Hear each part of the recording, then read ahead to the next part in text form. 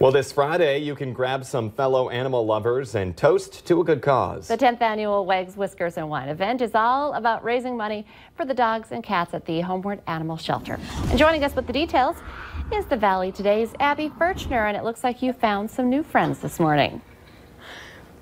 Guys, I think I'm going to be coming home with a cat because I am in absolute love right now. And I'm here with Heather with the Homeward Animal Shelter. And tomorrow night is a big night for you guys with the Wags, Whiskers, and Wine event. For those who have never heard of this event before and they might be coming out, what can they expect?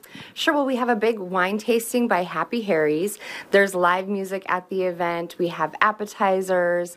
A lot of fun going on. Some amazing silent auction items. We have a great live auction as well. So 50-50 raffle, all kinds of fun. And I guess we should introduce to who we have here in our arms right now. So these are who, who are we holding? This here, this here is Wolverine, and then you've got Spider-Man in your arms. So a couple little purr monsters. They're just the sweetest little pair of guys. They're adorable. And are animals going to be at this event? We're going to have some of our alumni dogs at the event um, that will come out, and, and you'll get to meet them. So you can see some of the dogs that we have available. We'll also have a slideshow of numbers of animals that we've rescued throughout the year. And why do you put on this event? What's kind of that deeper meaning behind it? Sure. Well, we um, put this event on to raise funds for the animals here at the shelter to provide them with everything that they need until they find their forever homes. So, um, really, we, you know, the big thing goes to their veterinary care, mm. but all the money from the event goes directly back to the care of animals like these guys.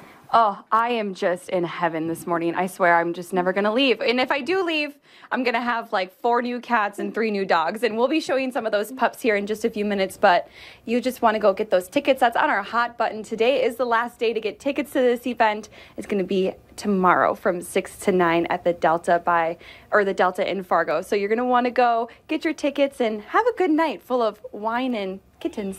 Can't go oh, wrong. I know. Oh, I know. You hear you them meowing in the background. They are so adorable. Look at that.